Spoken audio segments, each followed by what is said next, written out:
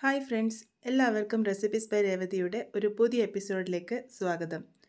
ഇന്ന് വന്നിരിക്കുന്നത് റവ ഉപയോഗിച്ച് വളരെ എളുപ്പത്തിൽ തയ്യാറാക്കിയെടുക്കാൻ വേണ്ടി പറ്റുന്ന നല്ലൊരു പലഹാരത്തിന്റെ റെസിപ്പിയുമായിട്ടാണ് എല്ലാവരുടെയും വീട്ടിൽ സാധാരണഗതിയിൽ കാണുന്ന കുറച്ച് ചേരുവകൾ മാത്രമേ നമുക്ക് ഇതിനായിട്ട് ആവശ്യമായിട്ടുള്ളൂ. എല്ലാം കൂടെ മിക്സിയിൽ അരച്ചെടുത്ത് വളരെ കുറഞ്ഞ എണ്ണയിൽ തയ്യാറാക്കിയിരിക്കുന്ന വളരെ ഹെൽത്തി ആയിട്ടുള്ള അതുപോലെ തന്നെ ടേസ്റ്റി ആയിട്ടുള്ള ഒരു പലഹാരമാണ് നല്ല സോഫ്റ്റ് ആയിട്ടുള്ള ഈ ഒരു പലഹാരം എങ്ങനെയാണ് ഉണ്ടാക്കുന്നതെന്നൊക്കെ നമുക്കൊന്ന് നോക്കിയിട്ട് വരാം. അതിനായിട്ട് ആദ്യം തന്നെ ഞാനിവിടെ മിക്സറിന്റെ വലിയ ജാറാണ് എടുത്തിരിക്കുന്നത്. ഇതിലേക്ക് മുക്കാൽ കപ്പ് അളവ് റവയാണ് ചേർത്ത് കൊടുത്തിരിക്കുന്നത്. റവ നിങ്ങൾക്ക് വറുത്തതോ വറക്കാത്തതോ ആയിട്ടുള്ള റവ ഉപയോഗിക്കാവുന്നതാണ്. ഞാനിപ്പോൾ ഇവിടെ വറക്കാത്ത റവയാണ് ഉപയോഗിച്ചിരിക്കുന്നത്. ഇതിന്റെ കൂടെ തന്നെ ഞാനിവിടെ ചേർത്ത് കൊടുത്തിരിക്കുന്നത് കാൽ കപ്പ് അളവ് അരിപ്പൊടിയാണ്. ഇത് സാധാരണ കടയിൽ നിന്നും പത്തിരിപ്പൊടി എന്ന് പറഞ്ഞു കിട്ടുന്ന ആ ഒരു വറുത്ത നല്ല ഫൈൻ ആയിട്ടുള്ള അരിപ്പൊടിയാണ് ചേർത്ത് കൊടുത്തിരിക്കുന്നത്. ഇതിന്റെ കൂടെ തന്നെ ഞാനിവിടെ കാൽ ടീസ്പൂൺ അളവിൽ സാധാരണ ജീരകമാണ് ചേർത്ത് കൊടുത്തിരിക്കുന്നത്. ഇനി ഇതിലേക്ക് ഏലക്കാപ്പൊടിയാണ് ആവശ്യമായിട്ടുള്ളത്. ഞാനിവിടെ കാൽ ടീസ്പൂൺ അളവിൽ ഏലക്കാപ്പൊടി ചേർത്തിട്ടുണ്ട്. നിങ്ങൾക്ക് ഏലക്ക പൊടിയായിട്ടോ അല്ലാന്നുണ്ടെങ്കിൽ മൂടനായിട്ടോ ചേർത്ത് കൊടുക്കാവുന്നതാണ്. മൂടനായിട്ടുള്ള ഏലക്കയാണ് ഉപയോഗിക്കുന്നുണ്ടെങ്കിൽ രണ്ടോ മൂന്നോ ഏലക്ക എടുത്തിട്ട് അതിന്റെ തൊലിയൊക്കെ കളഞ്ഞ് അതിന്റെ കുരു മാത്രമായിട്ട് ഇട്ട് കൊടുത്താൽ മതി. ഇതിന്റെ കൂടെയായിട്ട് ഞാനിവിടെ ചേർത്ത് കൊടുത്തിരിക്കുന്നത് തേങ്ങയാണ്. ഞാനിവിടെ രണ്ട് ടേബിൾ സ്പൂൺ അളവിൽ തേങ്ങ ചിരകിയതാണ് ചേർത്ത് കൊടുത്തിരിക്കുന്നത്. ഇതിന്റെ കൂടെ തന്നെ രണ്ട് ടേബിൾ സ്പൂൺ അളവിൽ ചോറും കൂടെ ചേർത്തിട്ടുണ്ട്. ഞാനിത് ഫ്രിഡ്ജിലൊക്കെ വെച്ചിരിക്കുന്ന ആ ഒരു ചോറാണ് ഉപയോഗിച്ചിരിക്കുന്നത്. നിങ്ങൾക്ക് ഫ്രഷ് ആയിട്ടുള്ള ചോറ് വേണമെങ്കിലും ഉപയോഗിക്കാവുന്നതാണ്. ഇനി ഇതിലേക്ക് കാൽ ടീസ്പൂൺ അളവിൽ ഉപ്പും കൂടെ ചേർത്ത് കൊടുക്കാം. ഇനി ഇതിലേക്ക് വെള്ളമാണ് ചേർത്ത് കൊടുക്കേണ്ടത്. ഞാനിപ്പോൾ ഇവിടെ ഒരു കപ്പ് അളവ് വെള്ളമാണ് ചേർത്ത് കൊടുത്തിരിക്കുന്നത്. ഇനി ഇതൊന്ന് അരച്ചെടുത്തിട്ട് വരാം. നല്ല മഷി പോലെ തന്നെ അരച്ചെടുക്കാൻ വേണ്ടിയിട്ട് ശ്രദ്ധിക്കണം.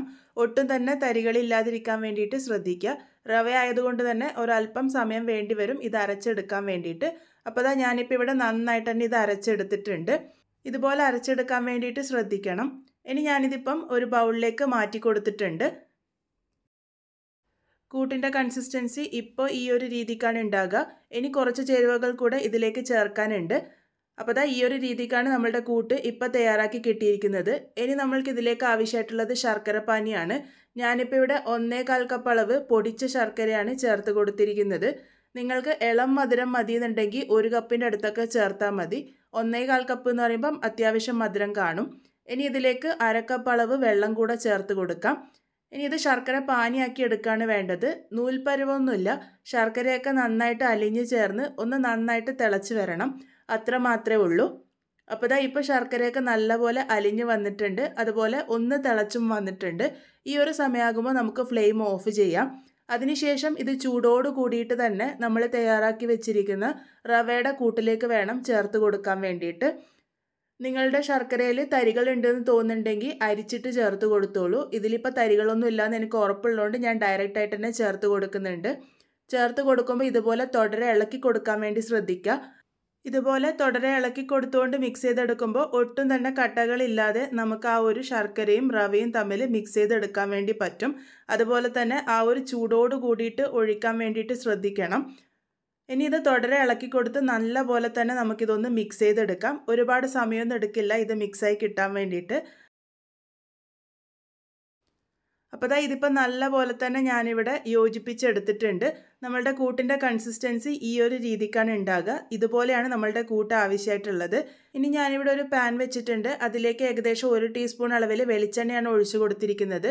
വെളിച്ചെണ്ണയ്ക്ക് പകരം നിങ്ങൾക്ക് നെയ്യ് വേണമെങ്കിലും ചേർത്ത് കൊടുക്കാവുന്നതാണ്. ഇതിലേക്ക് ഒരു രണ്ടര ടേബിൾ സ്പൂണിന്റെ അടുത്ത് തേങ്ങാക്കൊത്താണ് ചേർത്ത് കൊടുത്തിരിക്കുന്നത്. തേങ്ങാക്കൊത്ത് ഒന്ന് നമുക്ക് മൂപ്പിച്ചെടുക്കാം. നിങ്ങൾക്കപ്പോൾ ഈ ഒരു വീഡിയോ കണ്ടു തുടങ്ങുമ്പോൾ തന്നെ മനസ്സിലായിട്ടുണ്ടാകും. ഞാനിപ്പോൾ ഇവിടെ കൽത്തപ്പാണ് ഉണ്ടാക്കിക്കൊണ്ടിരിക്കുന്നത്. കൽത്തപ്പത്തിൽ മെയിനായിട്ട് വേണ്ടുന്ന സാധനങ്ങളാണ് തേങ്ങാക്കൊത്തും ചെറിയ ഉള്ളിയും. അപ്പോൾ തേങ്ങാക്കൊത്ത് ഒന്ന് ചെറുതായിട്ട് കളറ് മാറി വരുമ്പോൾ ഇതിലേക്ക് ചെറിയ ഉള്ളിയാണ് ചേർത്ത് കൊടുക്കുന്നത്. ഞാനിപ്പോൾ ഇവിടെ ആറ് ചെറിയ ഉള്ളിയാണ് എടുത്തിരിക്കുന്നത്. അത് ഇതുപോലെ നല്ല കനം കുറച്ച് അരിഞ്ഞിട്ട് ചേർത്ത് കൊടുത്തിട്ടുണ്ട്. എല്ലാം കൂടെ നന്നായിട്ടൊന്ന് മൂപ്പിച്ചെടുക്കണം. കലത്തപ്പത്തിന്റെ ശരിയായ രുചി കിട്ടുന്നത് ഈ ഒരു ചെറിയ ഉള്ളിയും കൂടെ ചേർക്കുമ്പോഴാണ്. മുമ്പും എന്റെ ചാനലിൽ ഞാൻ രണ്ട് മൂന്ന് ടൈപ്പ് കലത്തപ്പം ഉണ്ടാക്കുന്നത് ഇട്ടിട്ടുണ്ടായിരുന്നു. അപ്പോൾ അതിന്റെ കമന്റ് ബോക്സിൽ വന്നതായിരുന്നു ചെറിയ ഉള്ളി ഇട്ട് കഴിഞ്ഞാൽ മധുര പലഹാരത്തിൽ രസം ഉണ്ടാകുമെന്ന് തീർച്ചയായിട്ടും രസം ഉണ്ടാകും. ഈ ഒരു കലത്തപ്പത്തിന്റെ മെയിൻ ഇൻഗ്രീഡിയന്റ് ആണ് ഈ ഒരു ചെറിയ ഉള്ളി. സവാള ചേർക്കാതിരിക്കുക ചെറിയ ഉള്ളി തന്നെ ചേർക്കാൻ വേണ്ടി ശ്രദ്ധിക്കുക. ഇപ്പോൾ നോക്കൂ ഉള്ളിയും ആ ഒരു തേങ്ങാക്കൊത്തും നല്ലൊരു ബ്രൗൺ കളർ ആകുമ്പോൾ ഞാനത് എണ്ണയിൽ നിന്നും കോരിയെടുത്തിട്ടുണ്ട് അതിന്റെ പകുതി ഭാഗം ഞാനിവിടെ കൂട്ടിലേക്ക് ചേർത്തിട്ടുണ്ട്. ബാക്കി പകുതി നമുക്കവിടെ മാറ്റി വയ്ക്കാം അത് ചുട്ടെടുക്കുമ്പോൾ ഇട്ട് കൊടുക്കാം.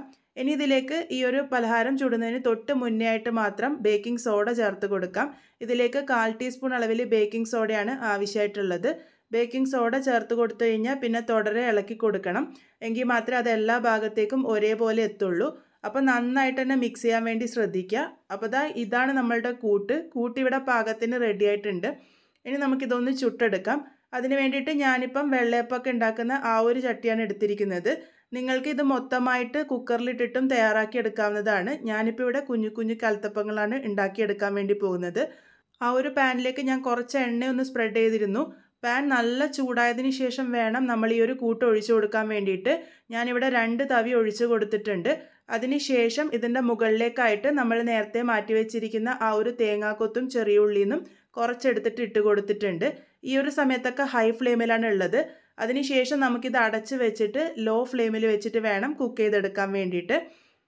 അപ്പോൾ ഇപ്പോൾ ഒരു രണ്ട് മിനിറ്റോളം ആയിട്ടുണ്ട്. ഇതിപ്പോൾ പാകത്തിന് മുകൾ ഭാഗം റെഡിയായി വന്നിട്ടുണ്ട്.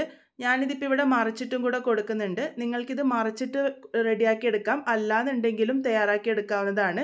ഞാൻ ആ ഒരു മുകൾ ഭാഗം കൂടെ ഒന്ന് ചെറുതായിട്ട് മുരിഞ്ഞു വരാൻ വേണ്ടിയിട്ട് ഇവിടെ ഒന്ന് മറിച്ചിട്ട് കൊടുത്തിട്ടുണ്ട്. അതിനുശേഷം ഒരുപാട് സമയം വെക്കേണ്ട ആവശ്യമില്ല. അതിന്റെ ആ ഒരു ഭാഗം കൂടെ ഒന്ന് ചെറുതായിട്ട് മുരിഞ്ഞ വരെ മാത്രമേ വേണ്ടൂ. അപ്പോൾ ഇതാ ഇതിപ്പോൾ പാകത്തിന് റെഡി ആയിട്ടുണ്ട്. നമുക്കിത് മാറ്റിയെടുക്കാം. ഈ ഒരു രീതിക്കാണ് ഞാനിപ്പോൾ ഇവിടെ കൽത്തപ്പം റെഡിയാക്കിയിരിക്കുന്നത്. ഇത് കുഞ്ഞു കുഞ്ഞു കൽത്തപ്പങ്ങളാണ്. ഉണ്ടാക്കാനും എളുപ്പമാണ് അതുപോലെ തന്നെ ഒട്ടും തന്നെ ഫ്ലോപ്പൊന്നും ആവില്ല. നിങ്ങൾക്ക് ഈ ഒരു രീതിക്ക് തയ്യാറാക്കിയെടുക്കാം. അല്ലാന്നുണ്ടെങ്കിൽ കുക്കറിൽ വേണമെങ്കിലും തയ്യാറാക്കിയെടുക്കാവുന്നതാണ്. കുക്കറിലാണെങ്കിൽ കുറച്ച് സമയം കൂടുതൽ വേണ്ടി വരും മുഴുവനായിട്ടും തയ്യാറാക്കുന്നത് കൊണ്ട്. പിന്നെ ചിലവരൊക്കെ പറയാറുണ്ട് കുക്കറിൽ തയ്യാറാക്കുമ്പോൾ അടിഭാഗം കരിഞ്ഞു പോകുന്നുണ്ടെന്ന്. ഈ ഒരു രീതിക്ക് തയ്യാറാക്കി എടുക്കുകയാണെങ്കിൽ ഒട്ടും തന്നെ കരിയാതെ നമുക്ക് നമ്മളുടെ കൽത്തപ്പങ്ങൾ റെഡിയാക്കി എടുക്കാം കുറച്ച് കാര്യങ്ങൾ മാത്രം ശ്രദ്ധിച്ചാൽ മതി. പാത്രം നല്ല ചൂടായതിന് ശേഷം വേണം കൂട്ടൊഴിച്ചു കൊടുക്കാൻ വേണ്ടിയിട്ട്. അതിനുശേഷം ഒന്നോ രണ്ടോ സെക്കൻഡ് വെച്ചതിന് ശേഷം മാത്രം ലോ ഫ്ലെയിമിലോട്ടേക്ക് മാറ്റിയിട്ട് കുക്ക് ചെയ്തെടുക്കുക. അപ്പോൾ ഇതാ ഈ ഒരു രീതിക്ക് ഞാൻ ബാക്കിയുള്ളതൊക്കെ റെഡിയാക്കി എടുത്തിട്ടുണ്ട്. അപ്പോൾ റവ ഉപയോഗിച്ച് വളരെ സിമ്പിളായിട്ട് തയ്യാറാക്കിയിരിക്കുന്ന കുഞ്ഞി കലത്തപ്പം ഇവിടെ റെഡിയായിട്ടുണ്ട് സാധാരണ നമ്മൾ കലത്തപ്പം റെഡിയാക്കി എടുക്കുന്നത് ഒന്നിക്കിൽ അരിപ്പൊടി ഉപയോഗിച്ചിട്ടായിരിക്കും. അല്ലാന്നുണ്ടെങ്കിൽ ഗോതമ്പ് പൊടി ഉപയോഗിച്ച് നമുക്ക് തയ്യാറാക്കി എടുക്കാവുന്നതാണ്. എന്റെ ചാനലിൽ ഞാനിവിടെ അരിപ്പൊടി ഉപയോഗിച്ചിട്ടും ഗോതമ്പ് പൊടി ഉപയോഗിച്ചിട്ടും അതുപോലെ തന്നെ നേന്ത്രപ്പഴം ഉപയോഗിച്ചിട്ടുള്ളതും ഇട്ടിട്ടുണ്ട്. അതുപോലെ ബാക്കി വന്ന ചോറ് ഉപയോഗിച്ചിട്ടും നമുക്ക് തയ്യാറാക്കി എടുക്കാവുന്നതാണ്. അപ്പോൾ അതാ ഇതിപ്പോൾ റവ ഉപയോഗിച്ച് വളരെ സിമ്പിളായിട്ട് തയ്യാറാക്കിയിരിക്കുന്ന നല്ല പെർഫെക്റ്റ് ആയിട്ടുള്ള കുഞ്ഞിക്കലത്തപ്പാണ് ഞാനിപ്പോൾ ഇവിടെ ഉണ്ടാക്കിയിരിക്കുന്നത്. അപ്പോൾ എല്ലാവരും എന്തായാലും ട്രൈ ചെയ്ത് നോക്കുമെന്ന് പ്രതീക്ഷിക്കുന്നു. എന്തെങ്കിലും സംശയങ്ങളൊക്കെ ഉണ്ടെങ്കിൽ കമന്റ് ബോക്സ് വഴി ചോദിച്ചാൽ മതി. ഞാൻ മാക്സിമം റിപ്ലൈ കൊടുക്കാറുണ്ട്. അപ്പോൾ വീണ്ടും ഒരു നല്ല റെസിപ്പിയുമായി കാണാം.